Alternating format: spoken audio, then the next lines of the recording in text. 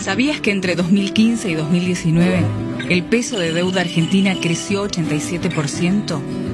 Hoy representa el 91% del PBI, es decir, de todo lo que los argentinos y las argentinas producimos con nuestro trabajo durante un año. En 2015, la deuda externa era el 28% de la deuda total, hoy es el 50%. Además, la porción de la deuda en manos de acreedores extranjeros se triplicó en cuatro años. Gran parte de esta deuda vence entre 2020 y 2023. Por año, los argentinos y las argentinas tenemos que pagar 50 mil millones de dólares. Con estos plazos y estos montos, la deuda es impagable. ¿Cómo llegamos a esta situación? La Alianza Cambiemos modificó el modelo económico. De uno productivo pasó a otro, donde solo ganó el sector financiero. Nos endeudó a todos los argentinos por 100 años, pero aunque todos vamos a tener que pagarla, solo unos pocos accedieron a esos dólares.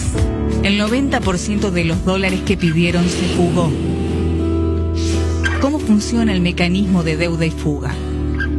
El Estado argentino toma deuda en dólares. Unos privilegiados compran esos dólares y los especifican. Colocan los pesos a alta tasa de interés en el sistema financiero local. Con las ganancias vuelven a comprar dólares y los fugan.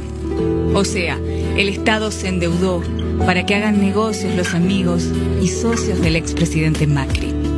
Ningún dólar fue para construir escuelas, ni jardines de infantes, ni puentes, ni hospitales, ni generar empleo tampoco para jubilaciones, salarios ni asignaciones familiares. Además, una porción cada vez mayor del presupuesto nacional está destinada a pagar solo los intereses de la deuda. Eso significa menos recursos para el pueblo argentino. En los últimos 40 años es la tercera vez que sufrimos un modelo de especulación financiera. El primero fue el de la dictadura cívico-militar entre 1976 y 1983, cuando el país se endeudó en 10.300 millones de dólares anuales. El segundo durante la década del 90, donde el Estado tomó deuda por 3.700 millones de dólares por año.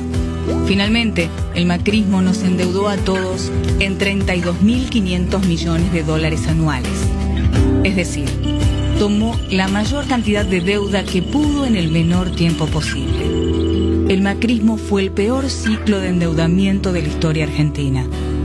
Hoy nos encontramos frente a un descalabro económico y financiero sin precedentes. Necesitamos una salida ordenada. Por eso el Poder Ejecutivo envió al Congreso un proyecto de ley de sostenibilidad de deuda externa porque es fundamental que todos los representantes del pueblo sean parte de este compromiso con la soberanía del país. Un proyecto hecho por argentinos para los argentinos, para recuperar un modelo productivo de país que nos permita volver a crecer, que nos permita generar empleo y aumentar el poder adquisitivo. Un modelo productivo para poner a Argentina de pie.